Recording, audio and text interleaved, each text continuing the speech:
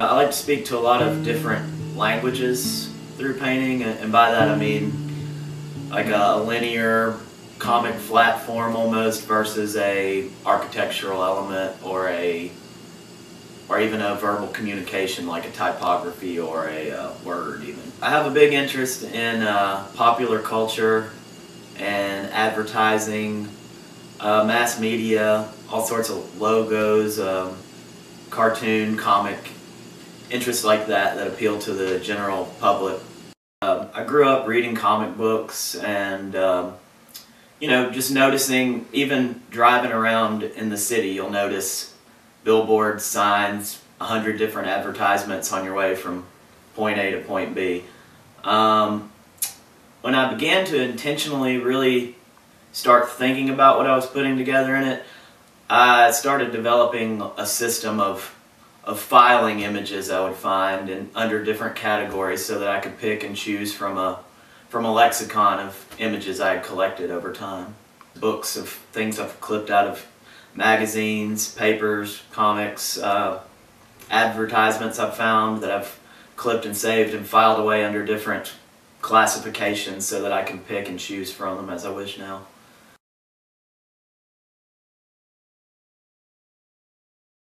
When I start a work, usually it's a little of both visualizing a final product and allowing the work to dictate itself. Um, it's both very additive and subtractive. You know, I'll go through and layer something on top of something else and then decide it's not working and pull it out or, or paint right over it. You know, so in a lot of ways, it's a push and pull, a give and take.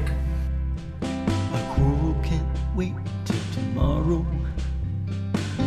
We gotta settle it today. At the door. Get down to the core. I guess I hope more than anything it's somewhat universal that anyone can, anyone, even if you don't have an art history degree or are a great scholar in some way, you can, you can, you can find interest in it. That it speaks to you, that, that it shows something that you've grown up with or seen throughout your life that you can take away on your own level. Not necessarily what I'm trying to say or do.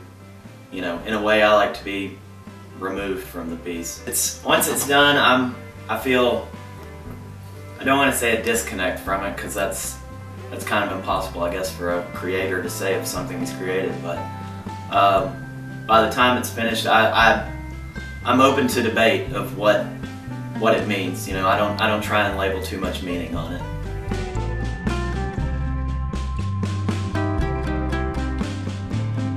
It's a big old world. We got a lot of love to make, so we're going round and round, round and around me. And. Yeah, I think a lot of people would love to make a career as a professional artist in Nashville. Um, there's a hard line you have to draw between being able to do your work that you want to do and having the freedom to be an artist and making a living. You know, there's a it's a hard art market in Nashville at times. Um, you have to balance the idea of trying to make something for an audience versus making something for yourself.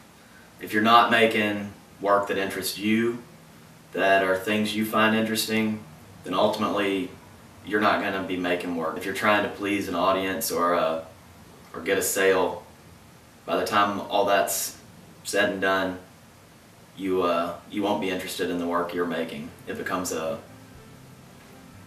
mechanical process at that point. Right now, I would say I'm trying to push it a little further than uh, simple, flat, two-dimensional paintings that have been. Um, getting a little more into surface textures. Um, even playing with a new series now that involves uh, some Christmas lights being in the painting. So um, I'd like to push it as far as I can, as far as I financially am able.